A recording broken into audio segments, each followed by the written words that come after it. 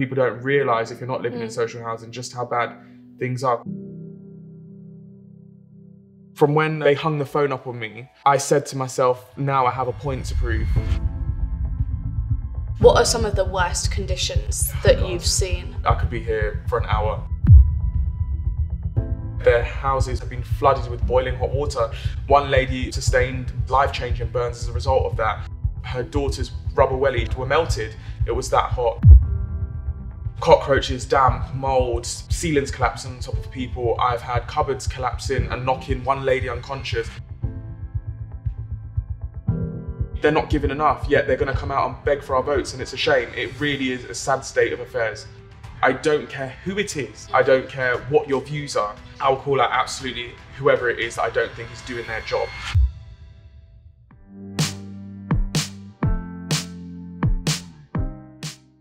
In the beginning, I did think that we were the only sort of case didn't really know because no one really talks about it, especially in social housing, or talked about it because of the stigma and the shame that came along Of with course, it. yeah. And even for us, we didn't want to talk about it. And it wasn't until I had just had enough, went to social media, shared it, that I started learning that other people had been living in those sorts of conditions um, via social media, but then also knocking on every single door of my estate and going into um, tenants and neighbours' homes and seeing they're living in much worse conditions. I mean, one lady, 27 years, she had been complaining for um, about rodents and mice, and she had she's in her 60s and had to go and buy cement from B&Q, mix it in her living room, and try to fill the holes herself, and it didn't fix the issue. But that's how desperate people were and are, and people don't realise if you're not living in social housing just how bad things are because one tenants are ashamed and are normally blamed for it when it's not their fault because they're paying for a service they're not receiving and that is paying their landlord rent and they're not Yeah. receiving the service to fix issues within their home and um,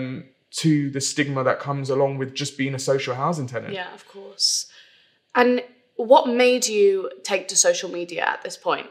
I was annoyed. I was very, very frustrated. I mean, my dad had passed away in in in in those sorts of conditions, and we had complained to the housing provider, and the housing provider had known that my dad was ill, living in those conditions, and known about the whole situation when they were approached by.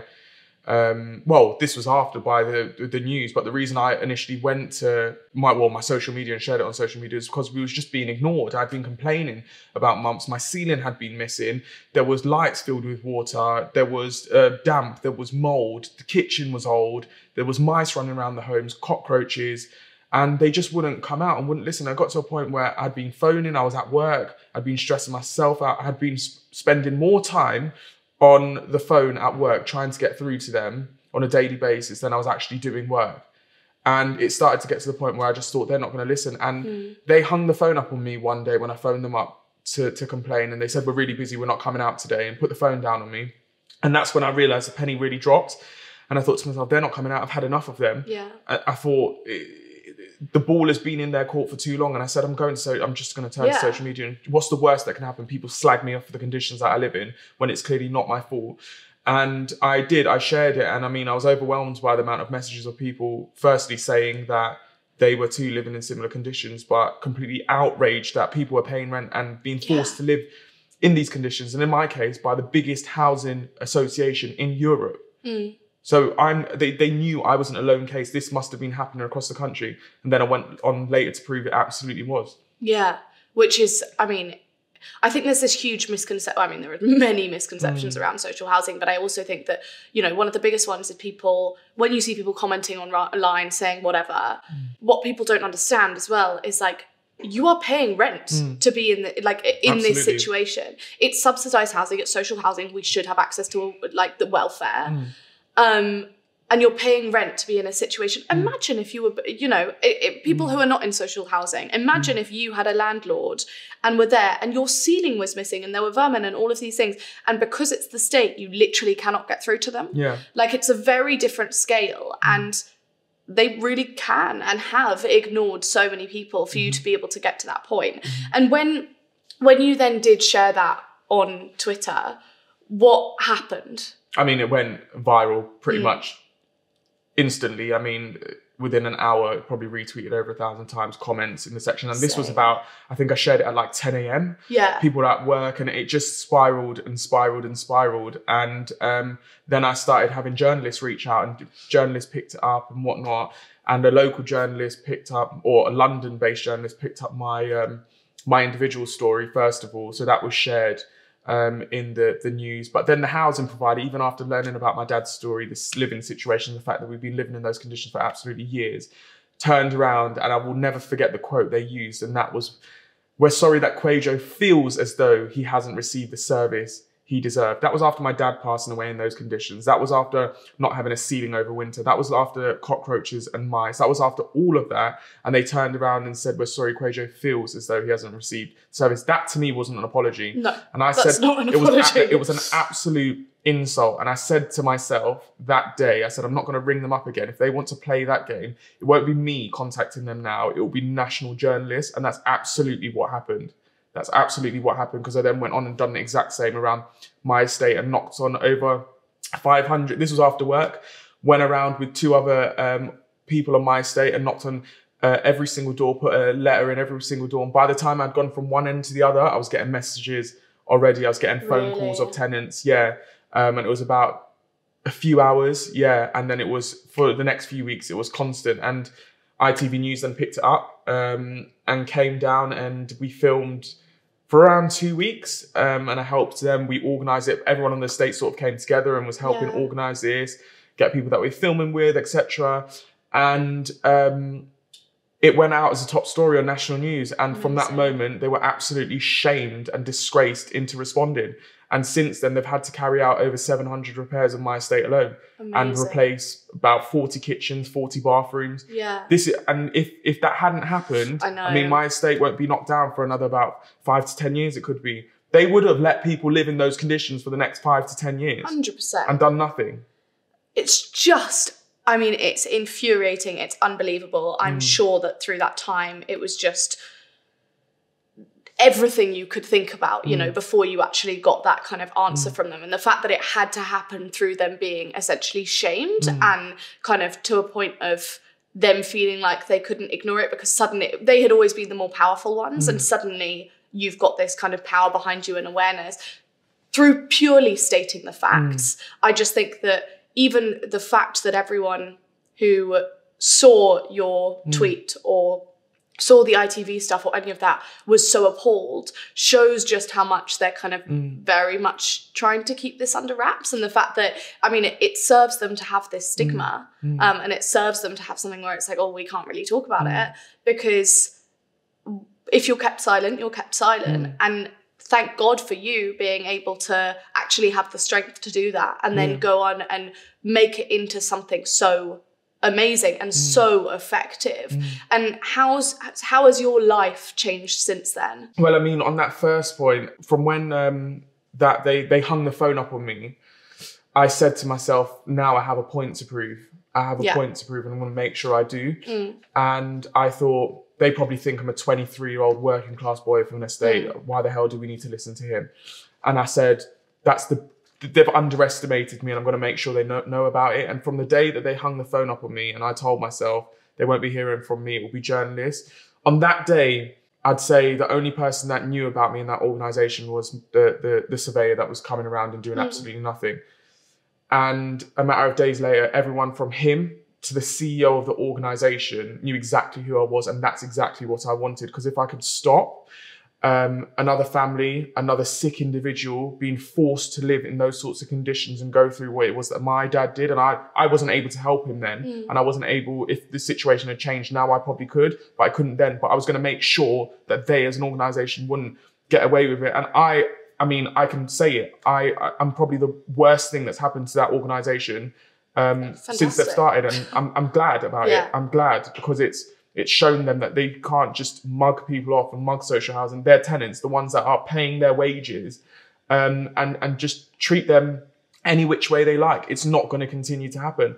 And the, I think the fact that I'm 23 made it feel even better to me because it's then shown other young people out there that it doesn't matter your age, it doesn't matter your background or where you're from. If something's wrong, you stand up for it. And it doesn't matter if you're standing up against the biggest CEO to, to an organization in Europe or whoever it is, you, your voice matters just as much as because they wouldn't live in those sorts of conditions. Once I started and I saw that it was making change in my situation, I said to myself, I mean, I couldn't just pull up the ladder behind me. I, I just couldn't do that. I Yeah. wouldn't feel comfortable being sat in my house after it had been repaired, finally after years, knowing that my neighbours were going through the exact same thing and they're still there suffering. So I decided to continue doing that. And then I went round their local estates that was run by the same housing provider, exact same conditions. And then I had people reaching out from different parts of London, different housing providers, local authorities, and housing associations. And I was going and shaming them publicly too. And it built this presence because people then learned that, oh my gosh, this is the guy that's disgracing landlords for poor living conditions. And they really did. If it wasn't for social media and people on social media, I wouldn't be here.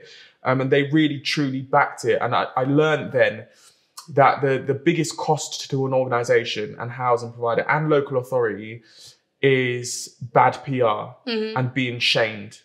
And I learned that was the key. And that's something I carried from the very, very beginning. And it's got me to this point too, because it wasn't just housing providers. It was also, it's also MPs that have been shaming Yeah. um, people of high positions that are supposed to be doing the job that I'm doing for free, that I'm going around doing for free. They're paid to do, and things started m- moving. Um, people, people and organisations, news were reaching out to me, asking me about it, and it sort of I fell into the position of being called an activist and campaigner.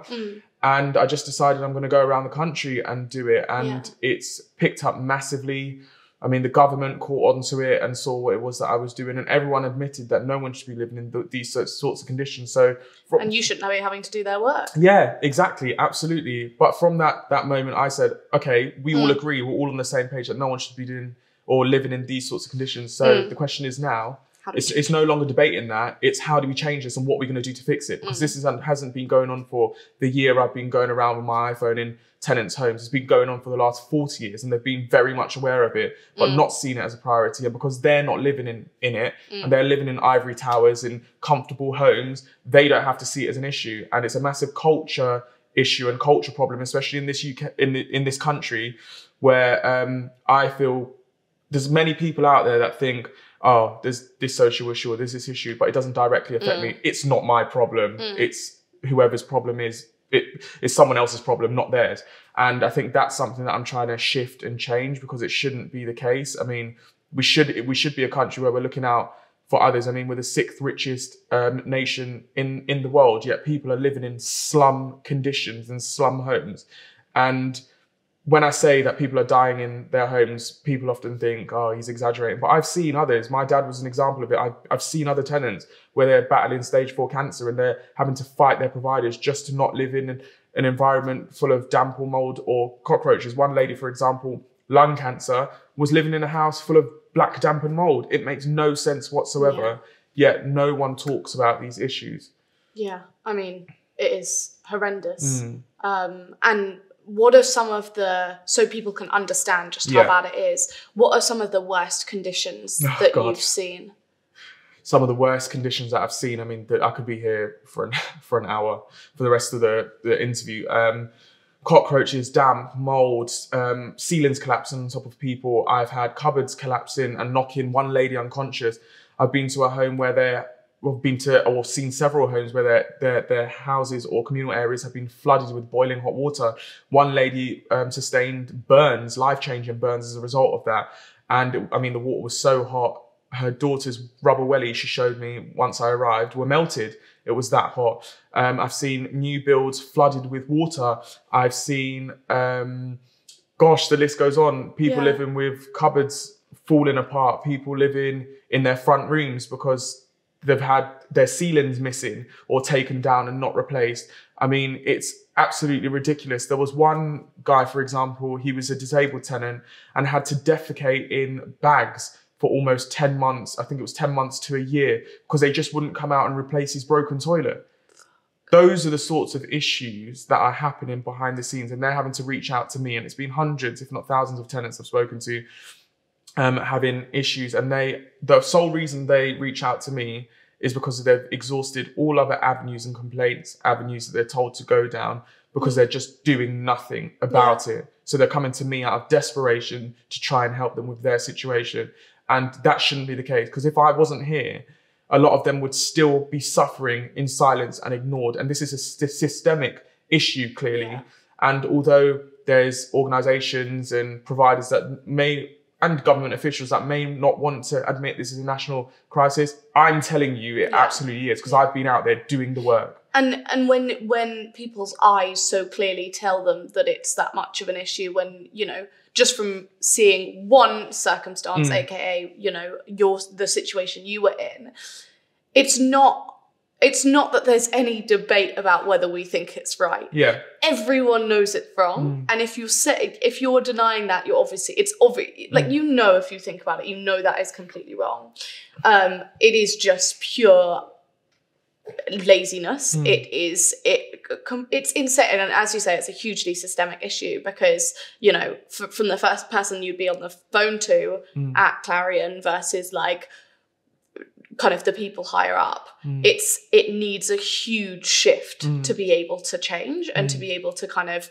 get out of this not just by plastering over issues and Mm. fixing things as they should but also changing the system in which that, that created these Mm. issues Mm. and how not that you should be doing this work for them but how do you think that this can change I mean, it, it, there needs to be, and which, I mean, I've spoken to the government about this um, and have been working alongside them and with them Mm. for a while now. And obviously, now everything in politics is on its head. So it kind Yeah. of pauses now till September. yeah But I, I've given them, I've, I've met with the Mayor of London. I have met with um, Michael Gove, Housing Secretary, and his team, the housing team. Um, you name it. I've, I've met with um, the late Labour MPs and I've Mm. told them, I've given them multiple ways um, of how they can fix this. I think the list was about 14 or 15 points of how they can, or how I see from Yeah, my experience, they can, job. yeah, they can fix these issues. And the thing is, all of the suggestions I gave didn't cost a lot. It didn't cost a lot of money. That's not an excuse. Um, but they will be impactful and I think massively change the current situation for tenants and give them a voice. I mean, regulation, for example, needs to Mm. change massively. There's barely any regulation in the private and um, social housing sector. I think we need to be holding providers to account for allowing people to live in those sort of slum Yeah. conditions and basically violating any sort of health and safety policies that should be going, especially after Grenfell. That annoys me and frustrates me the most is that five years on, this is still happening. And we saw what happened after Grenfell. We saw the MPs, the members of parliament, the government officials, the house, the members of housing providers put statements out and go out there whilst Grenfell had happened and saying how terrible it is, how bad it is, um, how shocked they are, how things need to change. Yet five years on, barely anything's been done. Mm. Barely anything's been done. What's been uncovered now is people are living in the same similar conditions, but the, the same thing is happening from those fam- from what happened back when Grenfell happened and what the families were complaining about afterwards, and that was that the tenants were ignored. What we're seeing Mm. now is tenants are still being ignored. Well, the thing with Grenfell as well is it wasn't just afterwards.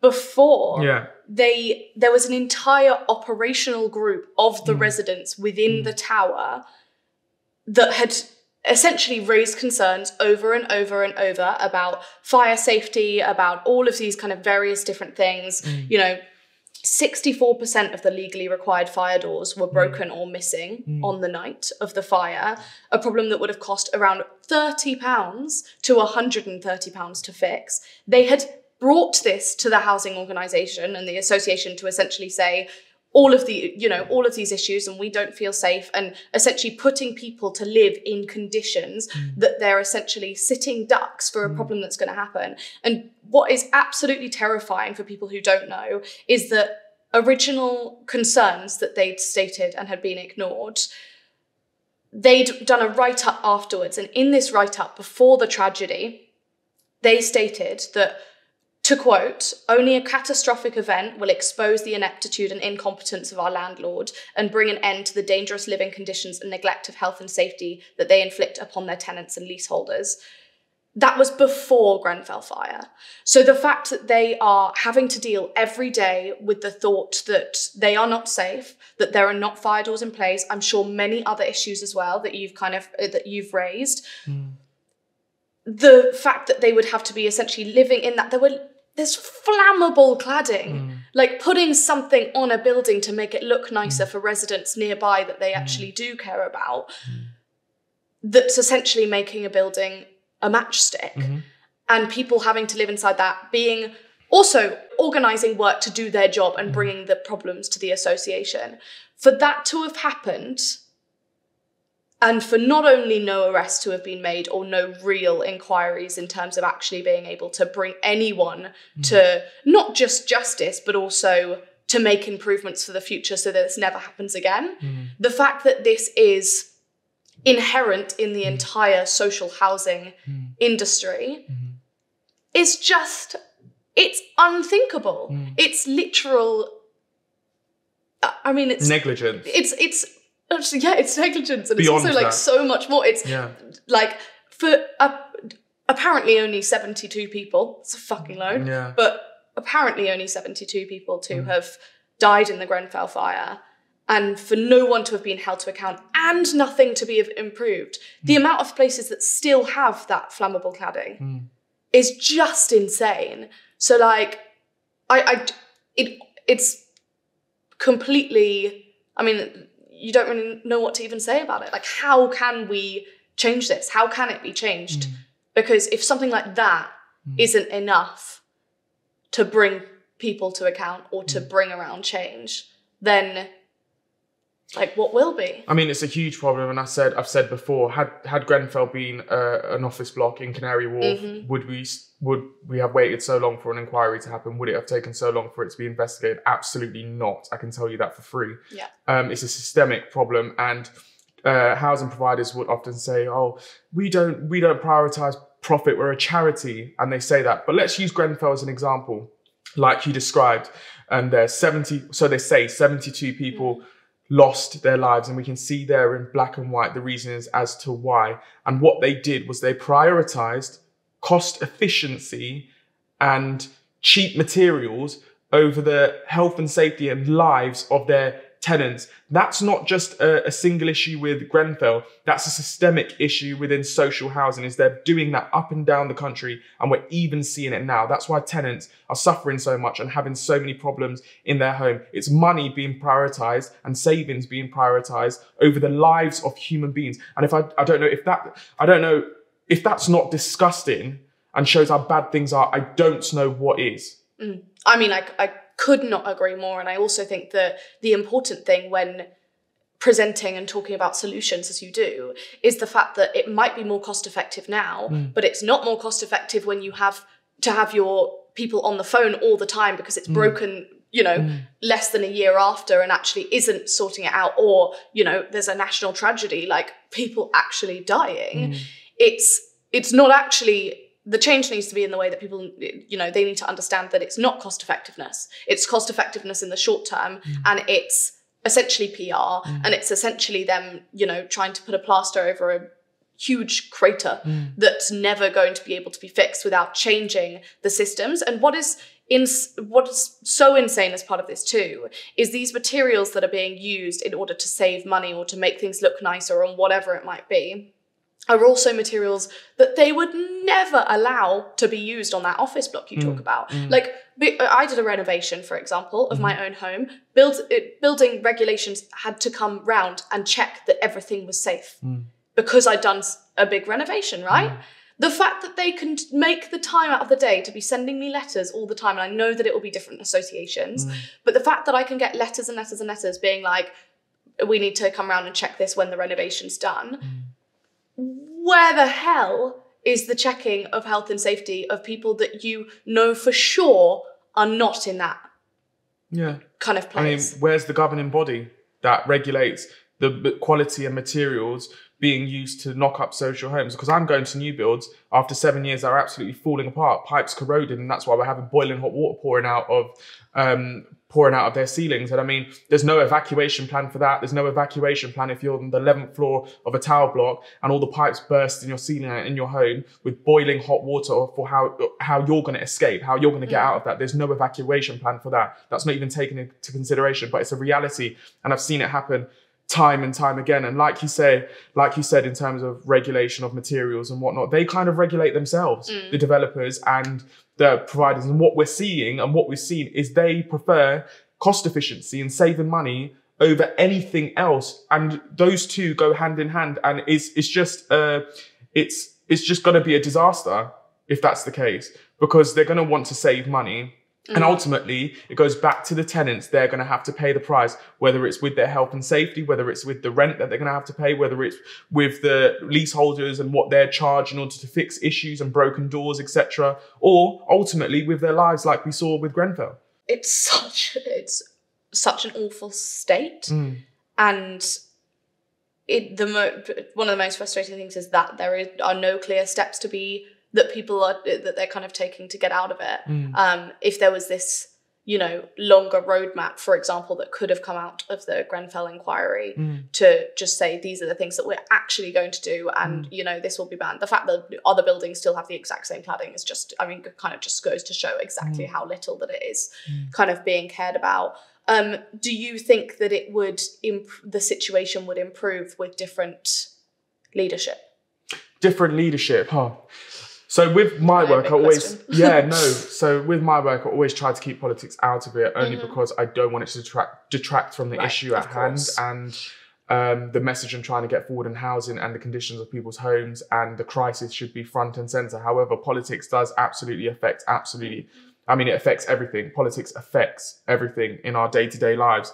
Um, do I think if it's between Conservative and Labour, Labour's going to perform any better from what I've seen so far? Sadly, um, for many, um, I, there's nothing for me to grasp onto to say that they're Right. going to do to, to do any better. I mean, yes, there are MPs within Labour that absolutely care and they do a great job. Like I'm going to name Karen Buck, for example, who has been doing this for for years and talking about housing. But when if we're not getting any answers from or or talk no if your leader for example isn't talking about these issues or creating any plans on how we're supposed to tackle it or how we're going to make it any different and better for tenants and give them more power and more voice what what, what are tenants voting for? Because i hmm. mean ultimately whether you're conservative or labor you're going to be sending your mps out in two years time telling them to go and beg for votes on estates in urban areas where people have been dealing with disrepair and living in dangerous accommodation. You're going to beg them and promise them X, Y, and Z, then. Why aren't you doing it now? Why hmm. are you not trying to create improvements now? Give them, why are you not giving them hope? Why are you not telling them what's going to be done differently? Why are you not making housing and the housing crisis a priority? And uh, it always comes down to one answer to me, and that's because they don't live in it. They don't live in it. I mean, they get to go back to their nice homes. Their, their homes are safe. I'm sure it's been regulated whenever it was built or whatnot. If they're living in private homes, if they've built their own homes. Yeah. Keir Starmer, uh, well, I was going to say Boris Johnson, but Liz Truss, Rishi Sunak, they're going to be going back to their nice homes. They don't have to worry if they've got cockroaches, uh, mice, damp, mold, if the ceiling's going to have to going to collapse um, above them, if they're going to have hot water pouring from pouring from their ceilings. They don't have to worry for that worry about that. So it's not a priority to them. And I see that, but it should be. And they should, instead of being concerned about grabbing the title of prime minister, they need to be more concerned about the job at hand and those suffering and those that need help. And what I've seen over the last few months is that from all sides, the leaders are more concerned about grabbing the title of prime minister than doing an actual decent job and actually dealing with cri- a crisis like the housing crisis and people living in squalor and slum conditions. And it's a it's a real shame. It's a real shame. I'm I'm disappointed, and I can say I, I'm disappointed in conservatives. Like a lot of tenants have told me, they're mm-hmm. disappointed in conservatives and the fact they've done nothing over the last 12 years to tackle this. But I've had loads of tenants too tell me they're disappointed in Labour's lack of response and Labour's lack of response from the top when it comes to housing and poor conditions mm. and MPs. And I mean, it's across the country. And this housing crisis, it, it's not it's not just one party to blame for it. I mean, you look at London. London's run by majority Labour councils, and I mean the housing crisis here is absolutely horrific. I can tell you that because I've been around London. But that's not to say up north it's not worse with um, the Conservatives and Conservative constituencies, but Yeah. it's across the country. It's a national crisis, and every single party should be jumping on board and trying to create solutions for this. Unfortunately, they're not given enough, yet they're going to come out and beg for our votes, and it's a shame. It really is a sad state of affairs. really, really is. Mm. And and what can people who are angry about it Mm. do? I mean, I know it, the the- the onus should not be on people. Yeah, I mean- it should be on regulation. But yeah, No, absolutely. Shaming um, their providers, getting onto their um, MPs and councillors. And like, I don't want to say all landlords are absolutely horrific. Um, and I don't want to say all MPs are bad at responding to housing conditions. Could they do enough? Pro- probably they could. They Yeah. could all do enough to to shine a light on it and spread the message of poor housing, even if it's a simple tweet. It's not hard Yeah, to put yeah. a tweet out. It's not hard to email your your leaders and tell them this is a concern of constituents because I know I know for a fact because I've seen it firsthand the amount of emails that individual MPs get about housing issues on a year to year basis and it's absolutely disgraceful that it's been going on for years and there's been no real mention about it publicly. There's more that can be done on on the sides of MPs and government officials, but in regards to tenants, um, collective action, um, go into unions, joining tenants unions. Um, you can speak to places, charities like Shelter if you're having issues. Obviously, I'm here. I'm just one person, and I've had thousands of people come to me. But I'm going to continue doing the work that I was doing a year and a half, a year and a half ago. And I know you asked me earlier, oh, what sort of changed in in the last year and a half? The one thing that hasn't changed is my commitment to tenants Yeah, and them being the priority. I mean, like a year and a half ago, I was going around knocking on estates by myself in, in the in the winter, and like people must have thought I was absolutely weird. But I mean, I'm still doing that. I'm still climbing climbing tower blocks. I'm going around the country by myself doing it. So mm. I'm very very much still committed. Um, and tenants just need to talk about it, whether you're suffering a disrepair or not. What we can understand is that this is wrong. We know the difference between right and wrong as human beings. A child would be able to tell you that this situation is completely wrong. Um, we need to be having those conversations, and it's not just in the social sector, but private sector too. I mean, it is honestly like the Wild West when it comes to landlords. And again, not all private landlords are terrible, but there are some out there who are. It should be absolutely criminal the way in which they charge uh, renters ridiculous prices whilst having them live with missing ceilings, damp, mold, cockroaches, everything I've described in social housing. And arguably, it's much worse in um, private rented accommodation because a lot more people are privately renting in social housing. It's 4 million people, around 4 million. In private housing, it's a lot, lot um, more. So, yeah, holding people accountable, holding landlords accountable, holding people that public figures, public servants that are meant to represent you accountable too, because ultimately you're going to be voting for them. Mm. Yeah, no, absolutely. And what's your what's what's the big goal for you? Are you in terms of I know that you've taken this on yourself and you've done so mm. incredibly. Am I right in thinking that your original did you originally want to be an artist? I did, yes, yes, I did. And how do you think now about your kind of career and what you want to do? I know that you've obviously been like very much pulled in this direction and mm-hmm. you've done such an incredible job mm-hmm. and you know when things like that happen it's kind of like okay, meant to be. Yeah, Um, but for mm. you personally, you're carrying a lot on your back and yeah. you're carrying a lot of responsibility because you care so much about something that, Yeah. you know, really other people should be dealing with. But honestly, I mean, huge kudos to you for doing it. What is your, what, what do you want from your career in this and also outside of that? Um, I mean, my perspective has completely changed. Yeah. Um, I never thought I'd be dealing. If you had asked me five years ago, would we be doing anything in housing? I'd be like, absolutely not. That's boring. I would. I would. Um, but it's funny how life works. I think, and I still want to be an artist. I still want to paint. I still want to be creative. That's that's just within me. That's what I do. And for the last year and a half, I haven't been able to do that. I haven't been able to pick up a paintbrush. Um, and that's the number one thing that I wanted to do. However, housing's come along and the conditions people are living in, these social issues, and they they mean a lot more. I don't think you can put a price or satisfaction on that and helping tenants get out of these sorts of situations. And I want to take it very much to the end. I want to see change in government. I and I'll make it clear. I don't care who it is that's willing to make that change. I don't care what party you're affiliated to. I don't care what your views are. I want this crisis fixed, this housing crisis fixed. I want tenants to have more power. I want better regulation so that um, future generations aren't having to suffer like people have and social housing tenants have for the last 40 or 50 years. So I will go to the very end and I'm not planning on going anywhere until whether it's this government or the next government or the government after takes this on and deals with it. Yeah. And I will keep applying pressure. I don't care.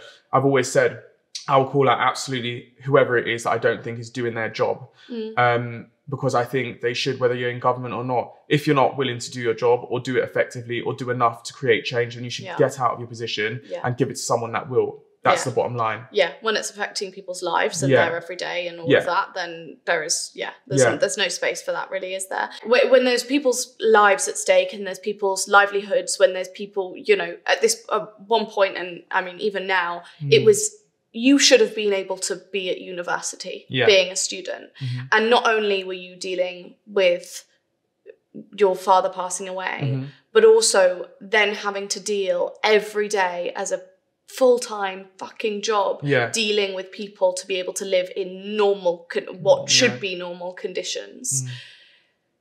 I can imagine now you're very fulfilled on the everyday because you're doing what you know what you love and Yeah. what you want to be doing but i can imagine also it's probably quite exhausting Yeah. doing something that you care about so Mhm. much and that you have so much emotional investment in Mhm. changing Mhm. how do you look after yourself I just uh, keep going, to be honest. And I have been warned in the past of like burning out and whatnot. But I know how I felt and where my mindset and where I was mentally when my just after my dad passed away. And it was an absolute gutter. I mean, it couldn't Yeah. have got any worse. I don't think. And I mean, I was pushed right to the edge, to the very edge, and. Um, I, I know emotionally and mentally right now I can handle this and what's going on. And every time I go into the tenant's house and they're suffering with disrepair, and I can see the stress. It brings back those emotions, and I often do leave absolutely depressed. Um, but the satisfaction I get is taking them straight out of that situation and having things change yeah um, for them. I mean, in regards to mentally, I think my housing provider and my situation robbed me of my ability to grieve for my dad after he had passed Yeah. away because of the disrepair and whatnot that I was living in. But I'm I'm in a I'm in an okay place at the moment. I'm, I'm not gonna lie, it's still not easy. There's still days and times where it's hard and you think about things, but this mentally is keeping me busy at the moment, um, which I'm which I'm glad about. I think, um, but I do at some point want to have a holiday, a break, even if it's temporarily. But I did go to Ghana to see my grandma, who's my dad's my dad's mum for the first time. But even while I was out there, I was still taking calls Yeah. whilst out shopping um, from Mm. tenants over here, trying to help their situation, sending emails on the way up on the coach up to Leicester to go to uni to MPs and housing providers for tenants, sat in lectures doing the exact same. It was difficult and it was really, really hard. I can't lie looking back, but I'm glad I've got through that bit. But I just genuinely want change. I want someone to take on this housing housing crisis and, and treat it like the priority it should be. And then after that, I mean, I would much rather not be here having to do this. I really, really would. If if the housing was just a complete paradise and it was just running smoothly, I'd be much happier and I would have had a whole different experience, I think. But Mm. unfortunately, that's not the case and that's not how life works. Um, so I'm just going to continue until I can't no more, I think, and until this is until this is fixed and try and take try and take time out for myself when I can and where I can. please do Yeah. Um, well, you're incredible. I'm so in awe of what you've done. Thank you. Um, and what you continue to do. Mm. And for people who are listening and want to be able to Mm. help, how how can they help the cause? How can they? Is there somewhere we can donate in terms of your work? I know that you're doing a lot of this for free. yeah. I know that, that you know you're obviously not being Yeah. paid for it in lots of ways. How can we support um, helping you get there and helping you as well as an activist and person? Um, well, I mean, currently I have a GoFundMe set up, and loads of people. I did not expect so many people to donate. I mean, I was absolutely shocked. One person said, "I want to donate to GoFundMe. You haven't got one, so I made one." And then loads of people donated, which has just allowed me to go around the country Mm. and help so many more people. And that is still there for anyone that did want to donate um, in any way. It doesn't matter what it is. Um, it is still there. But just keeping the conversation going about poor housing and the housing crisis up until past the next election. We need to make it a priority. Otherwise, more people are going to continue dying in their homes essentially, and the cost of living crisis hasn't even really kicked in yet. Yeah. It's going to get so much worse. People are going to be evicted, Mm. and it's going to honestly go from bad to worse. And we need to keep this conversation going. But I want to, I want to make sure I give a massive thank you to everyone on social media so far who's carried my work this far because without them, I wouldn't have it wouldn't have grown at the speed that it has, and it's genuinely down to them and their constant sharing. And they don't realize what a retweet does, but Yeah. it's it's huge and it's massive, and it gets answers for tenants ultimately. And Yeah. yeah, I'm forever grateful to them, but also, like I mentioned earlier, there are MPs that genuinely do want change, and I'm glad that there is a ray of light there too within politics that people do genuinely want to want to get this sorted and get this fixed. But we have to make sure we do it in the correct way and in an informed way, um, and informed by tenants and that are living in poor housing and living in social housing and private housing that know what it's like to really suffer and know what it's like that to to know what it's going to take to fix this crisis for them once and for all. You're amazing. Thank Thank, you. you. so much for coming on. Thank you. Uh, honestly, you're incredible. Thank you so much for having me on. I- Yeah, let me know if there's any way I can support Yes. you. You're yeah. I mean, I'll be supporting everything you do online. But Yeah. honestly, you're Yeah. just No, thank So you. great. I'm it's, I'm just glad to be here and be able to sh- share the message because I think these things need to be happening. There needs, I think there needs to be more talk on social issues, whether it's housing or the cost of living crisis, just Yeah. general day to day. I mean, social media has become this place where oh, you have to live up to expectation and be on a beach or a yacht somewhere Yeah, yeah. looking absolutely amazing, but That's behind much closed doors, yeah, there's there's there's so many people suffering. yeah. And there's nothing wrong with being on a yacht and looking good and enjoying yourself, absolutely. But we need to be having these conversations about real day to day issues that are affecting millions of just everyday normal people. Yeah, you're so right. You're Mm. so right.